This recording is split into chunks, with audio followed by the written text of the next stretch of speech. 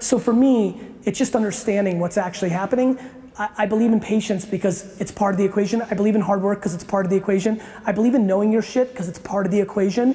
And, and for me, I'm not worried about all the other noise, you know, especially in a world where people are gonna always tell you about your shortcomings.